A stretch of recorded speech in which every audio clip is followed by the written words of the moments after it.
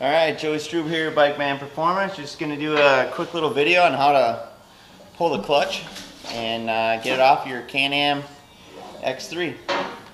So uh, first thing you gotta do, take a 7 8 socket or a 22 millimeter on an impact gun and go to the bolt right here.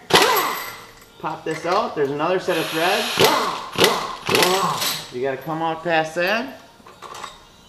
And then uh, using your Bikeman puller uh, with the 64 on it, thread that in. Make sure you get it in good uh, few turns by hand first, just to make sure you're not cross-threading it. And then this one's been off a few times, so it might come off a little easier than yours does, but uh, then you just run it home.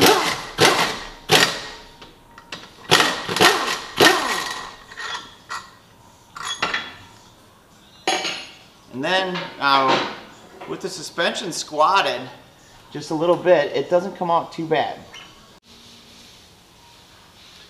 Alright, so this is this portion where we show you how to uh, separate the clutch. First you'll need uh, to take your uh, top hat piece. You'll see all the holes line up right over the top of this here and you'll need a, a 13 millimeter device to tighten these up. Uh, they just need to go snug, they don't need to get extra tight so I just use my 3 8 impact. Little small one. Just barely put them in definitely don't want to strip them out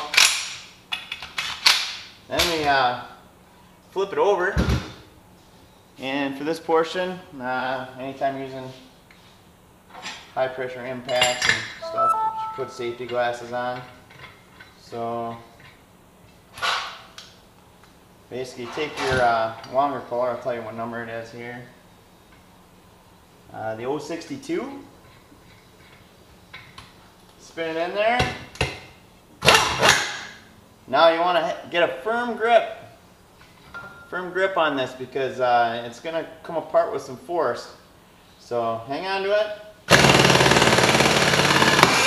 There we go. Just like that. She's apart. Make sure you keep all these in the same order.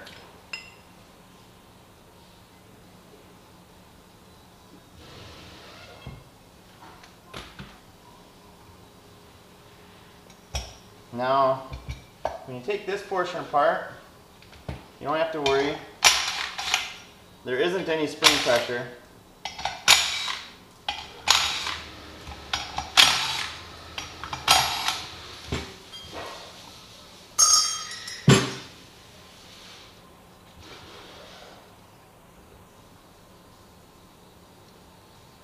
Now this is as high as I take it uh, if I'm just installing weights. And if you install weights, I'll pull this apart just so you can see. Be careful, there are uh, washers and uh,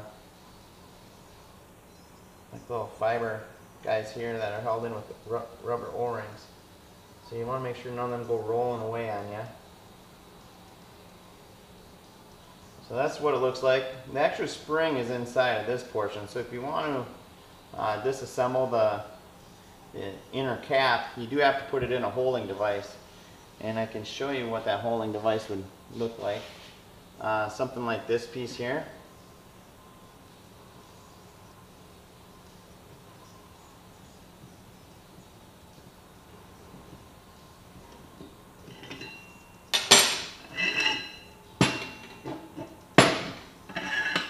So you put it in there, spin this down. You can make one of these yourself pretty easy. Just regular parts at the hardware store.